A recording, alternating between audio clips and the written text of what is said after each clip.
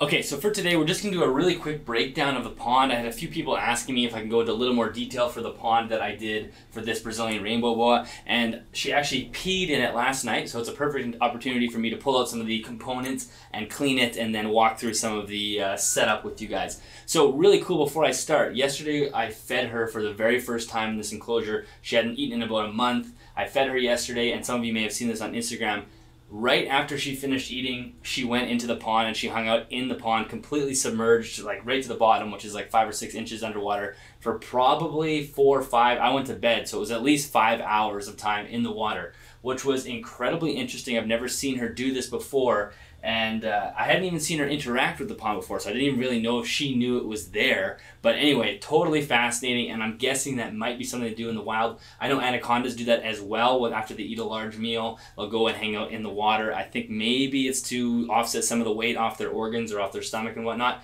Anyway, super fascinating. So again, that's another reason why you want to continuously try to strive to replicate nature, because when you do, your animals will behave in those ways that they're programmed to do in the wild, and all of a sudden they'll do it at home home in your enclosure. So super cool. So we're gonna break this uh, the pond down for right now, and then I'll show you how it works.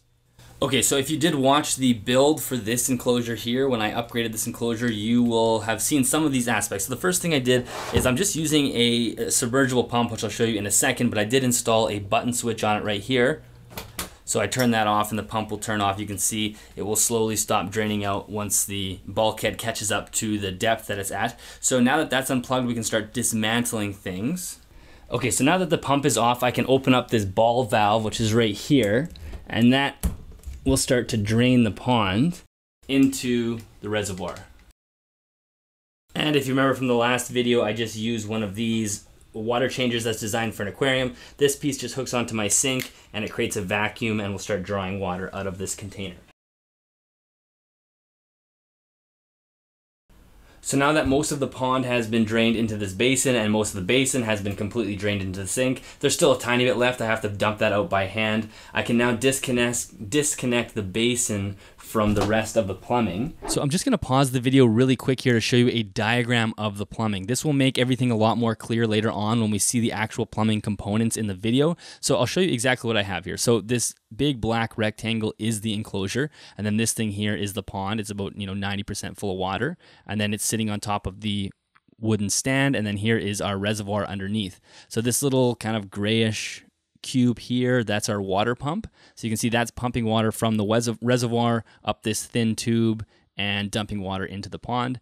And then these two things here, so this top one and this bottom piece here, those are aquarium bulkheads. So those are just regular half inch aquarium bulkheads. You can buy them off Amazon. I'll link all of that in the description below. And of course, I'll link the description or link the pump in the description as well. That is just an 80 gallon per hour pump. So I have a few different pictures here because I can't put all of the plumbing into one picture because then it just looks like a total rat's nest. So we're just going to look at the overflow at the top here. So this is the overflow bulkhead. So as the water, you know, dumps in from the pump, it fills up. Eventually it'll fill up up to the level of the bulkhead and the water will flow down the tube back into the reservoir. So that's simply how that works. And of course the pump pumps it back.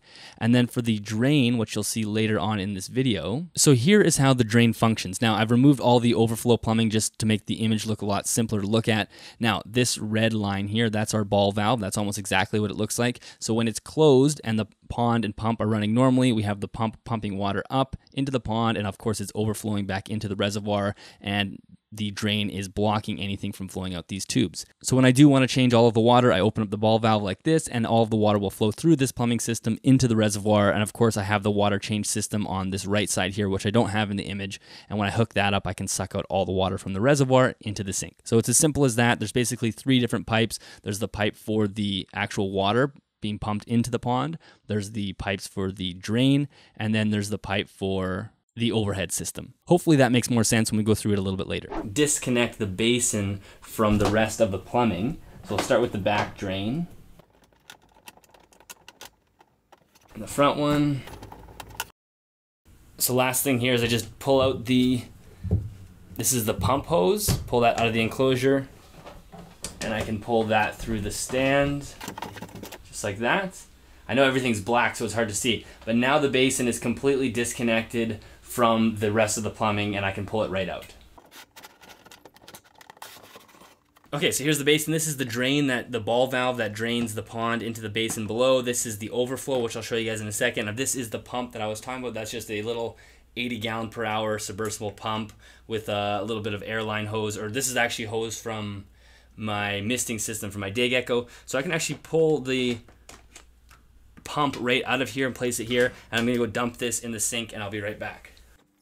Now I know everything is really black and hard to see, but the the drain that I have set up on this pond doesn't quite drain it 100%. It leaves about an inch of water. So I'm going to use my siphon to completely drain. Then I'm going to clean the inside because again there's some urates in there. She peed last night, and then we'll fill it back up. And again, this is not something I have to do every single time I want to change water. It just happens to be the case that she actually peed in here, so it's a good opportunity for me to clean it out. I will probably do the main the full clean like once a month or something. Okay, so now that the pond is completely empty and cleaned out, I cleaned it out with hydrogen peroxide and it is good to go. quickly run through the plumbing on the side here to hopefully it makes sense for everybody. So this is the overflow. So this is a bulkhead on, on this side, on, on the pond side, it's a bulkhead. On this side, it's a tube. As the pond fills up, it'll hit the hole here, the bulkhead, and it'll trickle down this tube back into the basin where it is slowly pumped back into the pond, kind of making an endless loop. And then down here is the ball valve, and this is the drain. So when I want to completely drain the pond to do a full change and a full clean like I'm doing now, then I need to open this up and it'll drain down to the basin.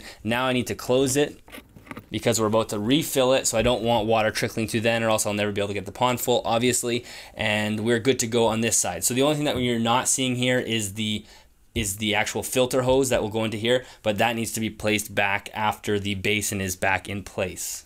So again, here's the basin and here is the pump. We're gonna place everything back where it's supposed to go. So the pump will go there and there's a little hole through the basin to feed the tube through. Lid goes back on and we can wedge it back into place. I can now feed the pump hose back through the stand and then through the hole in the enclosure so it can dump water back into the pond. So I'll just quickly reconnect the drain and the overflow. Okay, so the plumbing is all hooked up, so we will fill it up right away and turn it back on as the final step. But just a couple pieces of feedback that I received from this setup. The first was I could have easily just used a canister canister filter for the aquarium hobby, and uh, yes, I definitely could have done that. And honestly, if I do this again, I probably would just do that because it would be a lot easier. And then the second piece of uh, advice that I got that's kind of similar to that is I could have a filter in this basin here that would help keep the water clean. Now, yes, I could, but I'm basically doing like 90% water changes in this entire system every two or three days, just like I change the rest of my snake water. So the water is most of the time really fresh, and I would never rely on a filter to keep the water clean because if she does poop or pee in it, I'm going to be completely cleaning it out just like I did there. A filter is really just to manage waste from the animals, and theoretically, there should be no waste in this system at all because as soon as I notice waste, I'm going to clean it. So I think a canister filter would actually accomplish both those things much easier. So that's probably what I'll do in the future. So we can hook our water change port back up and we will fill the tub up and turn the pump on. So I know it is a little bit tough to see in here because everything's painted black, but that is the drain bulkhead and the overflow bulkhead is, can we see it? It's just behind that wood structure, so you can kind of see the bottom of it right there. It is tough to see, but that's the overflow. So we're gonna turn the pond on now. So again, it's just this button here. So that is pretty much it when it comes to the plumbing of this pond system. It's pretty straightforward and something that you could probably do yourself. It'll probably take about 30 minutes for that little pump to actually refill the pond, but it will eventually get there. And again, if you want to use an aquarium canister filter instead, it would cost you a lot more money than this. This is only a couple of bucks, obviously, with the bin and a few little bits of plumbing and whatnot. But a canister filter would be a lot easier, and then you could have a little bit of filtration with it.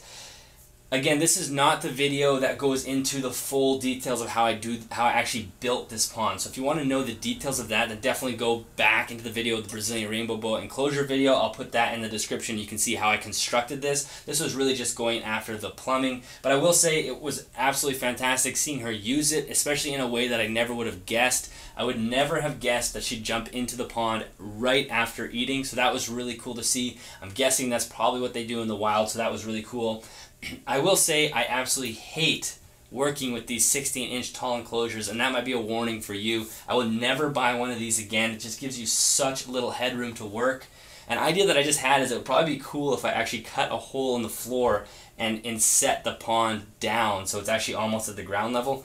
That is for another day, but that would be really cool. So anyway, I hope you enjoyed this video. Hopefully it cleared up some of the plumbing questions that some of you had with the pond. And if you do have any questions, again, put them in the comments and I will see you in the next video.